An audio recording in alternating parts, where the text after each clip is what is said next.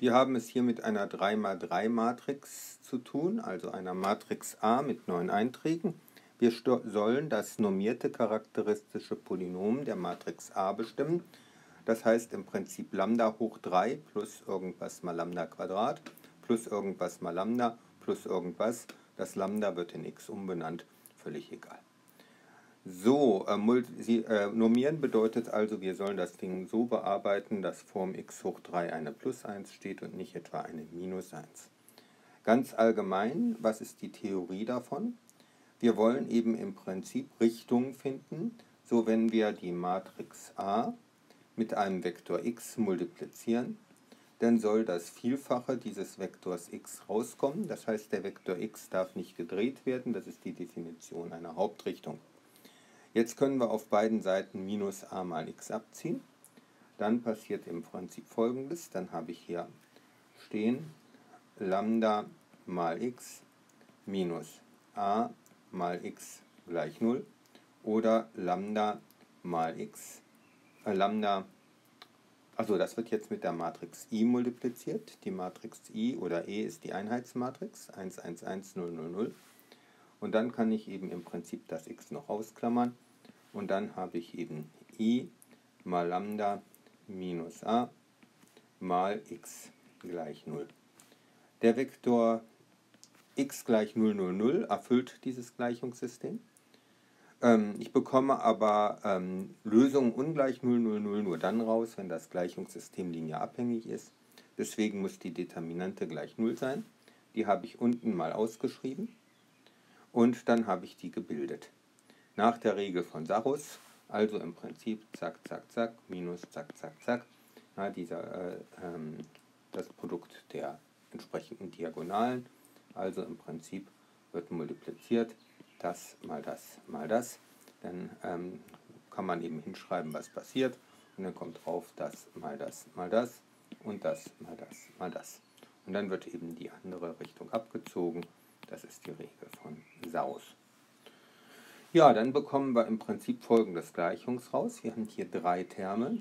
Das ist der Term Nummer 1, das ist der Term Nummer 2 und das ist der Term Nummer 3. 1 bezeichnet man auch als die Spur von a. Das hier ist die Determinante von a. Und das hier ist die Summe der Unterdeterminanten.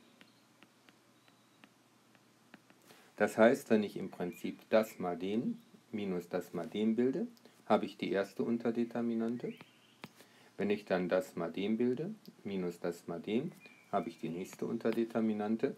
Und dann bekomme ich noch das mal den minus das mal den, wenn ich eben in der Mitte diesen Wert hier zuhalte und damit diese Spalten hier zuhalte, bekomme ich die dritte Unterdeterminante.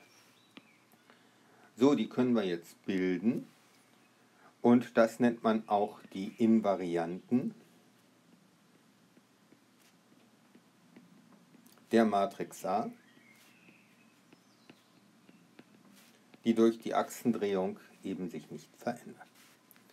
Wenn ich jetzt also das anwende auf die Matrix A, das hier ist die Matrix A, dann kann ich erstmal die Spur bilden, die ich abziehen muss kann also sagen, die Spur ist gerade minus 2, minus 2, minus 2. Das ist also jetzt die Summe der Hauptdiagonalen und das ist gerade minus 6. Jetzt kann ich 2 ausrechnen. Das ist dann erstmal minus 2 mal minus 2 gibt 4 und davon muss ich abziehen die 10. Das war also jetzt diese Determinante, 4 minus 10. Jetzt kommt die nächste Determinante hier. Das heißt, wir haben jetzt wieder plus 4 und minus 3. Und jetzt kommt die letzte Determinante. Das wäre also die Determinante das mal dem sind plus 4 und abziehen muss ich dann den und damit haben wir, ich gucke nochmal, ob die Vorzeichen richtig abgeschrieben sind, plus 15 So, und dann haben wir das erledigt. Und dann können wir gucken, was da rauskommt. Und da haben wir dann also stehen, 4 plus 4 sind 8, plus 4 sind 12. Ähm, dann haben wir plus 15 sind 27, 17, 14. Da haben wir anscheinend eine 14 raus.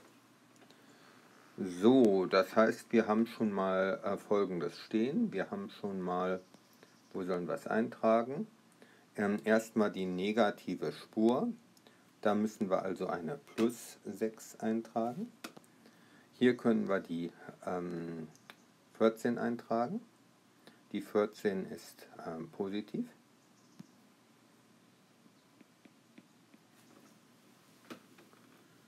So, und jetzt kommt noch die Determinante.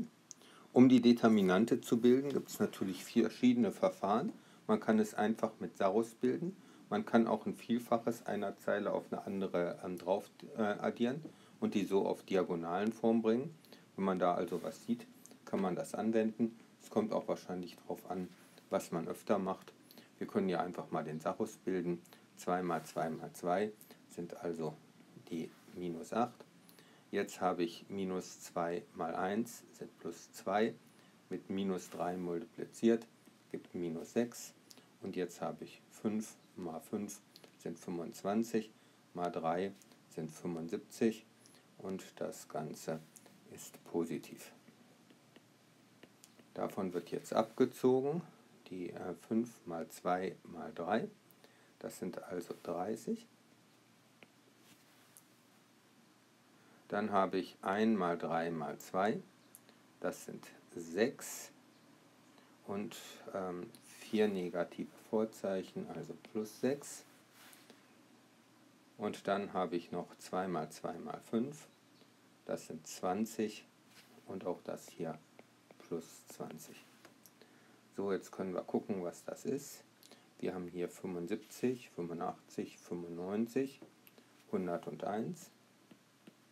Davon müssen wir abziehen 30, 38, 44 und kriegen raus 4 und 7 sind 1, 5, 57. Jo. Das Vorzeichen muss ich aber noch ändern, weil ich die Determinante abziehen muss. Wir gucken uns also nochmal an, wie das aussieht. Ähm, wir haben das charakteristische Polynom ganz allgemein.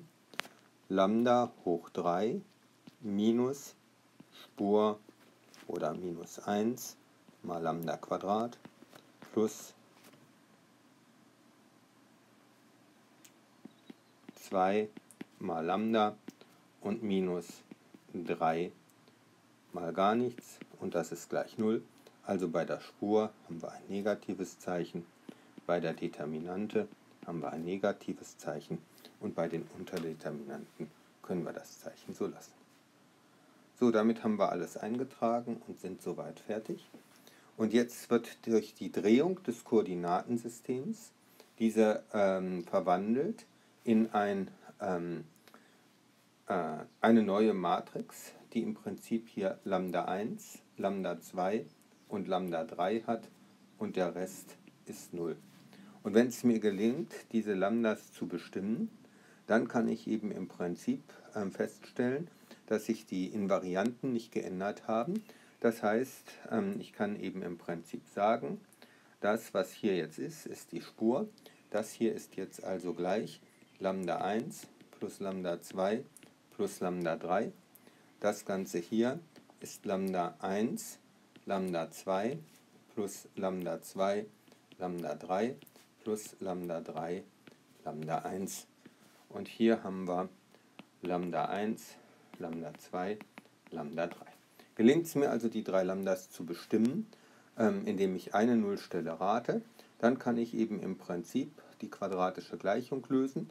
Und wenn ich das gemacht habe, dann kann ich eben gucken, ob die Invarianten dieser Matrix ähm, nach der Hauptachsentransformation, das nennt man auch die Diagonalmatrix, und die Diagonalmatrix hat die gleichen Invarianten wie die Matrix A.